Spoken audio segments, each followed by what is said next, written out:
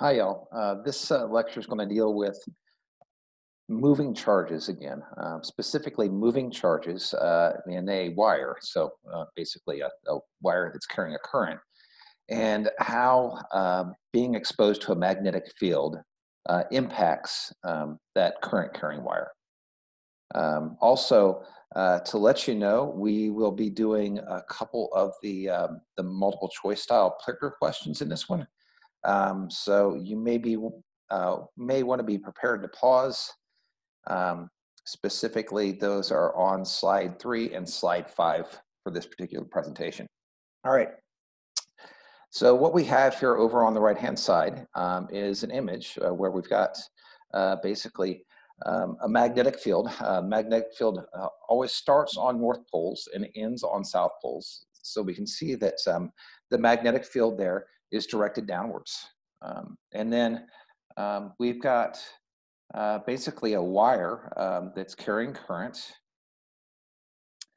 And um, that current is, uh, let's see, it's right there. Uh, that current is coming out of the page or out of the screen, I guess. And uh, of course, uh, let's see, if we look at um, the power supply, there's my positive, there's my negative up here and uh, current's going to go around. And um, we remember that um, our conventional current, I, that I have circled there, uh, shows the direction of some imaginary positive charges. Okay, great. So we've got moving positive charges. At least that's the, that's the way we'll think about it. We have moving positive charges coming out of the screen. Okay, and then uh, what do we have here? We've got um, the magnetic field is directed downwards, all right? So I have to be able to orient my hand in such a way that my fingers can curl downwards. Oh, okay, so I've got to have my palm down. So if I'm sitting here watching this, um, watching this presentation, um, my, my fingers should basically be facing me right now. My fingers should be pointing towards me, and my thumb should be pointed towards the right because here we go, my fingers uh, come towards me and yes, they can naturally curl downwards and then my thumb is pointing to the right. So we're just using the same right hand rule as before. Um, we just have to picture these positive charges uh, moving in this wire. And so as a result, our force is going to be to the right. And if we've got this wire free to rotate, you see a little maybe it's it's just looped over a, a peg there. Um, if we've got this wire free to rotate, there's going to be a force on it to the right, and what's going to happen? This whole thing is going to swing upwards like that. All right. Um, so this force again, direction of force is given to us by the right hand rule. All right. So on this next slide, what we're going to see, um, yeah, maybe, um, is development of an equation. Uh, to, to let us be able to calculate um, the force on a current carrying wire. Um, and it starts out from uh, our force due to, uh, well, our force on a, um, just a regular old moving charge, um, right there. Uh, force is QVB sine theta, we know that. Um, we can go through and, and, plug some things in, so on and so forth. But the, the important bit is that we get to this end, end result right there. And that's the force on a current carrying wire. The force is equal to the current times L. What is L? L here is the length of the wire in the magnetic field. So the force is ILB sine theta. Um, what's theta? Uh, well, theta is the angle between basically I and B. Oh, I is the direction that the um, the charge moves in. Okay. So kind of like V right there in our force equation. All right, so um, there we go. Uh, that's how we're going to calculate the force uh, due to a um, magnetic field acting on a, uh, a current carrying wire. Now, the next couple slides uh, don't actually use this, uh, this equation, but we, well, uh, I'll have to backtrack on that. It turns out that yes, the next one does. I lost track of what was coming next. So let's see. All right, this is a, um, again, a multiple choice question. Um, clicker question. Um, so we've got three different wires uh, in a magnetic field, um, wire A, B, and C. And it is your job to try to rank um, these wires in terms of um, how much magnetic force or how much force is actually going to be exerted on each wire. Um, so uh, pause the video and see if you can come up with a response.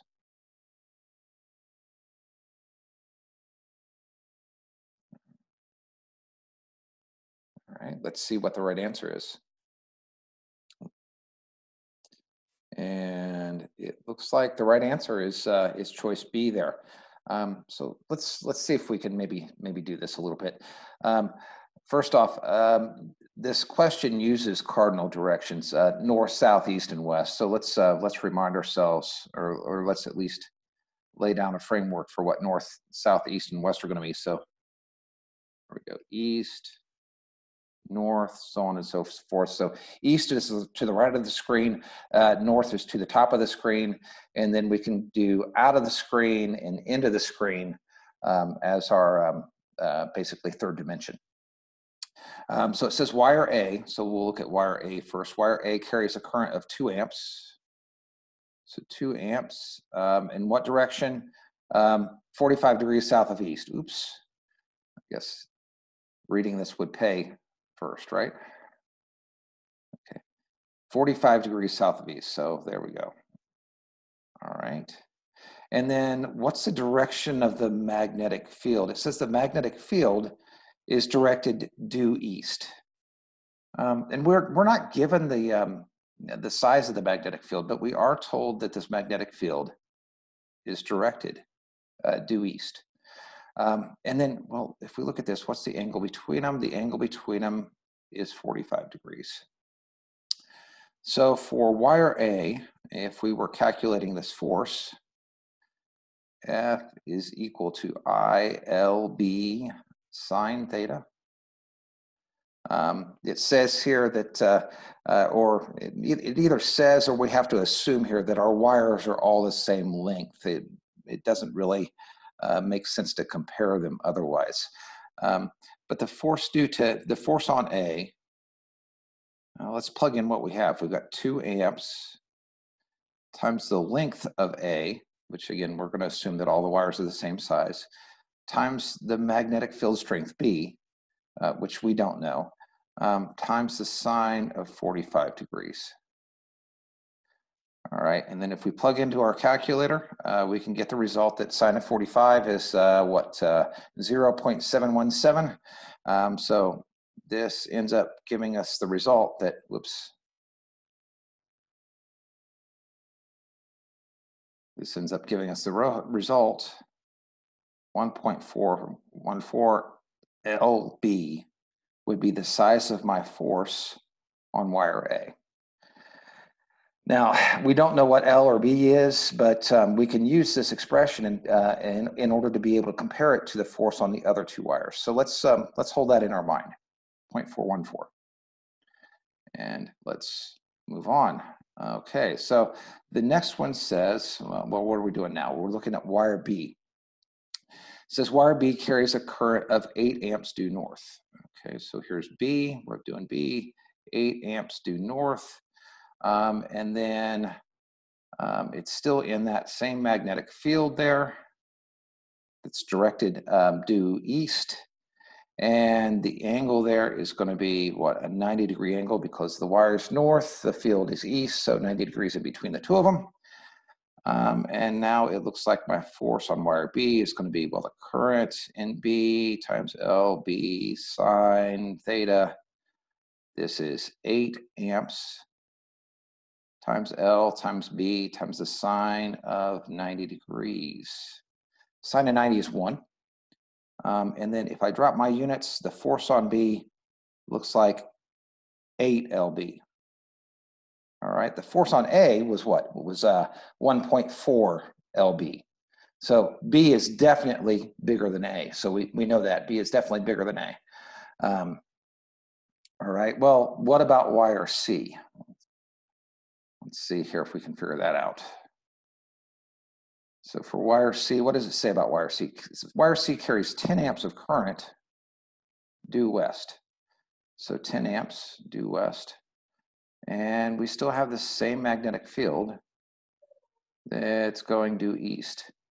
Well, now our question is, what's the angle between them? Well, if one's going this way and the other one's going that way, um, what is it? It's 180 degrees. Reminds me of the scarecrow, scarecrow in the Wizard of Oz, right? Some people go that way and some people go the other, well, whatever. Um, so if I go to figure this out, force on C is the current in C times L times B times the sine of theta. Um, sine of 180 degrees is zero. Um, so this just becomes zero. That's when we stick 180 into there, um, zero.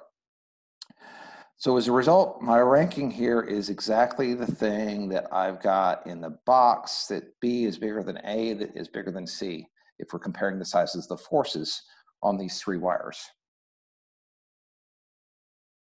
All right, so let us see, oops, let us see what's next. All right, so on this one, uh, what do we have? We've got um, basically a um, loop of wire, and that wire um, has, uh, at least part of it passes through um, a magnetic field. And um, we've got a North Pole and a South Pole um, somehow. And of course, magnetic field always starts on North Poles, goes towards South Poles. So the magnetic field is directed to the left. And what does it say here? It says, um, and maybe I should circle where I'm reading. It says when the switch is closed, so there's a switch right there. When the switch is closed and the current passes through the circuit, what is the movement of the wire between the poles of the magnet. So it's, it's specifically asking us to focus in on that stretch of wire right there and asking, okay, when current starts flowing through this thing, how's this wire going to move? Or how's that piece of wire going to move? Um, and um, we've got five different choices here. Any one of them could be right. Um, I possibly could have reshuffled these. I know we only had, what, four things in class we could do, but it could be E. Um, so any one of these could be right. I want you to pause and think about this. So pause. And we'll see, uh, we'll see what we think is right. We'll try to anyway. Okay.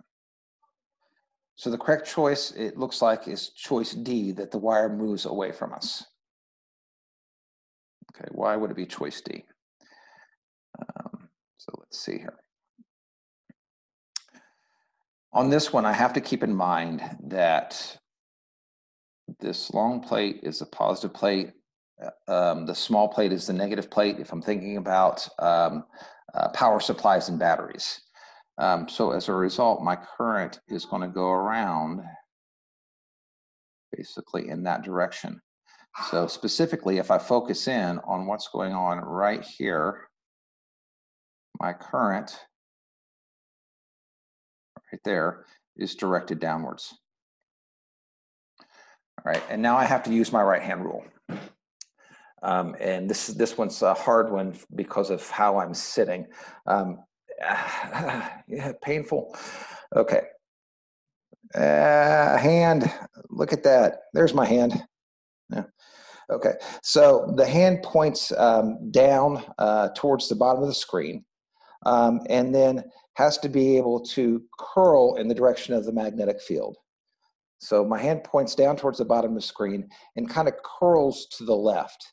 And when I do that, um, at least when you do that as you sit here, hopefully you all are doing this, hopefully not with your elbow cocked over your head like mine is. Um, but if you do this, uh, your thumb should point towards the screen. So the force here, the force on this, on this piece of wire is into uh, into the screen. Uh, so the force is into the screen. And if the force is into the screen, that means that, well, the wire is going to move away from us. And um, just as a check on me here real quick, wire moves away from us. Let me make sure here, whoops, I'm putting little dots, make sure here that I'm right. Yes, the wire moves away from us. All right, so that's good. And we will come back in the next video and do some calculations, some more calculations.